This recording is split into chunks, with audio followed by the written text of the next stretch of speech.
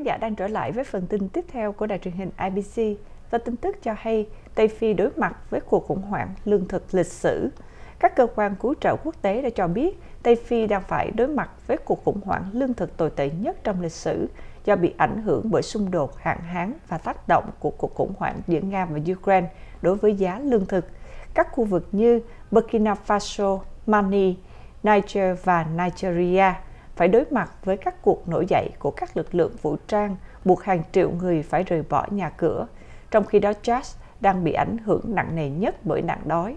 Khu vực Tây Phi cũng đang phải đối mặt với lũ lụt và hạn hán ngày càng trầm trọng do tác động của biến đổi khí hậu.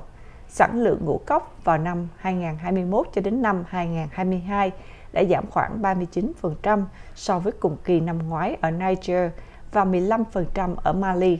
Ngoài ra, giá lương thực toàn cầu đang tăng cao và thương mại bị gián đoạn do cuộc khủng hoảng giữa Nga và Ukraine. Úc vừa viện trợ cho Ukraine 20 xe bọc thép, đó là tin mới nhất. NATO giúp một số nước châu Á, Thái Bình Dương. Chính phủ Úc đã quyết định viện trợ cho Ukraine 20 xe bọc thép do nước này tự sản xuất, trong đó có các phiên bản chở quân và tải thương. Lô hàng viện trợ thiết bị quân sự dự tính sẽ khởi hành đi Ukraine trong ngày 8 tháng 4. Thủ tướng Scott Morrison Ờ, hôm 8 tháng 4 ra thông báo cho biết chính phủ Úc sẽ tặng cho Ukraine 20 xe bọc thép chở quân Bushmaster theo đề nghị trực tiếp của Tổng thống Ukraine là ông Volodymyr Zelensky trong bài phát biểu trước Quốc hội Úc hôm 31 tháng 3 vừa qua. Trong thông báo mới nhất, Thủ tướng Morrison cho biết đến nay Úc đã cam kết viện trợ 165 triệu Úc Kim cho các trang thiết bị quân sự, cùng với gói viện trợ nhân đạo trị giá 65 triệu Úc Kim và 70.000 tấn than để hỗ trợ năng lượng cho Ukraine. Ông Morrison cũng tuyên bố Úc đang thảo luận với Ukraine để cung cấp thêm các biện pháp hỗ trợ phù hợp hơn. Và Thượng Hải đã bổ sung hàng chục nghìn giường biệt lập cho bệnh nhân COVID-19. Thượng Hải, Trung Quốc đang thực hiện biệt lập với tất cả các bệnh nhân COVID-19, bất kể mức độ trầm trọng và toàn bộ người tiếp xúc gần với bệnh nhân. Thành phố đông dân nhất của Trung Quốc đang tiến hành chuyển đổi các trung tâm hội nghị và huy động lực lượng từ các tỉnh lân cận để tạo ra những cơ sở biệt lập cho hàng trăm người nhiễm bệnh COVID-19. Hành động này đã cho thấy sự kiên định của chính quyền Thượng Hải trong việc thực hiện cam kết Zero Covid giữa lúc Trung Quốc phải đối mặt với đợt bùng phát dịch bệnh trầm trọng nhất từ trước cho đến nay. Thành phố cũng bổ sung thêm hàng chục giường tại những địa điểm vốn được coi là khu biệt lập lớn nhất trên thế giới dành cho các bệnh nhân COVID-19 hay còn gọi là F0, bất kể mức độ trầm trọng và những người tiếp xúc gần với bệnh nhân F1. Theo thông tin từ phía chính quyền Thượng Hải, gần 150.000 người là những người F1 đã được đưa vào diện biệt lập, trong khi hơn 100.000 người khác được xác định là tiếp xúc thứ cấp F2 vẫn đang được theo dõi.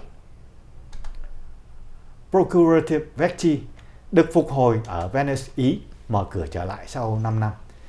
Sau 5 năm trùng tu thì tòa nhà Procurative Vecchi ở Venice đã mở cửa trở lại cho công chúng vào hôm thứ Sáu. Tòa nhà mang tính biểu tượng của quảng trường St. Mark đã được phục hồi bởi kiến trúc sư người Anh là Sir David Chipperfield, thay mặt cho tập đoàn bảo hiểm Generali. Trong quá khứ thì tòa nhà là nơi ở của các kiểm sát Venice, là các giới chức thành phố chịu trách nhiệm điều hành Basilica. Họ không được trả tiền, nhưng có đặc quyền được sống mãi mãi tại quảng trường St. Mark. Tòa nhà à, chạy dọc theo toàn bộ phía bắc của quảng trường St. Mark là bối cảnh yêu thích của hàng ngàn du khách đến thăm thành phố đầm phá này mỗi năm.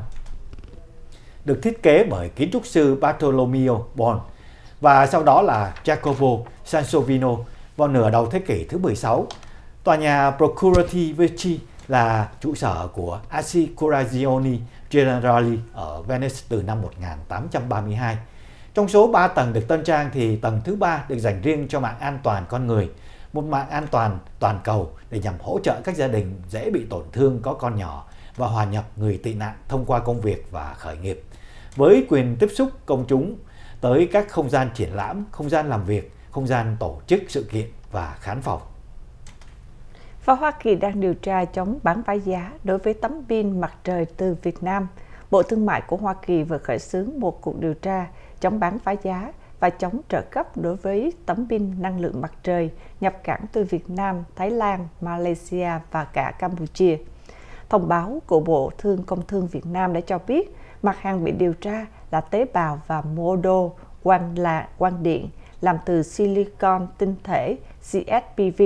Cuộc điều tra nhằm mục đích quyết định xem liệu tấm pin mặt trời và mô đun được sản xuất tại các quốc gia này có sử dụng các bộ phận và linh kiện từ Trung Quốc để xuất quản sang Hoa Kỳ hay không, nghĩa là có đang lách lệnh áp đặt thuế chống bán phá giá và chống trợ cấp của Hoa Kỳ đối với pin mặt trời và mô đun từ Trung Quốc hay là không. Các nhà xuất cảng Việt Nam bị cáo buộc nhập cảng nguyên liệu ban đầu là tấm silicon, silicon từ Trung Quốc, gia công, lắp ráp, thay đổi không đáng kể để sản xuất tế bào và mô đun quang điện xuất cảng sang Hoa Kỳ. Mặt hàng pin năng lượng mặt trời đã được Bộ Công Thương nhiều lần đưa vào danh sách cảnh cáo sớm các mặt hàng có nguy cơ bị nước ngoài điều tra về đề phòng thương mại. Bộ Công Thương của Việt Nam cũng nói trong thông cáo và khuyến nghị các doanh nghiệp theo dõi sát tình hình, chủ động phối hợp chặt chẽ với các cơ quan điều tra của Hoa Kỳ để bảo đảm quyền lợi. Cũng tin từ Việt Nam, thì chính phủ của Việt Nam bất ngờ thông báo diễn tập quốc phòng, sân bay phải đóng cửa, làm cho du lịch xáo trộn. Sân bay Phù Cát ở miền Trung của Việt Nam đóng cửa và hàng loạt các chuyến bay đi Quy Nhơn kể từ ngày 12 tháng 4 cho tới ngày 25 tháng 4 phải thay đổi hành trình sau thông báo diễn tập quốc phòng bất ngờ vừa được giới hữu trách của Việt Nam công bố trên truyền thông vào ngày 8 tháng 4. Chỉ ít ngày trước khi diễn tập được tiến hành thì giữa bối cảnh quốc gia láng giềng Trung Quốc cũng đang tổ chức diễn tập và cấm tàu thuyền qua lại ở khu vực Biển Đông sát Việt Nam. Truyền thông trong nước trích dẫn thông tin từ giới hữu trách sân bay Phù Cát cho biết họ mới nhận được thông báo về cuộc diễn tập vào ngày 6 tháng 4. Thông báo cho biết cuộc diễn tập bắn đạn thật sẽ diễn ra tại Trung tâm huấn luyện quân sự quốc gia 2 thuộc xã Bình Thạnh, huyện Tây Sơn, tỉnh Bình Định từ ngày 11 tháng 4 đến 21 tháng 4. Giờ bắn trải dài từ 7 giờ sáng đến 11 giờ đêm mỗi ngày. Các máy bay hàng không dân dụng không thể cất hoặc hạ cánh trong thời gian có hoạt động bắn dài ngày của quân sự, khiến tất cả các chuyến bay đi đến Phù Cát cả ngày lẫn đêm trong khoảng thời gian trên đều bị ảnh hưởng. Thông báo đóng cửa 10 ngày của sân bay Phù Cát hiện đang khiến cho các công ty lữ hành và du khách náo loạn theo tường thuật của báo Việt Nam.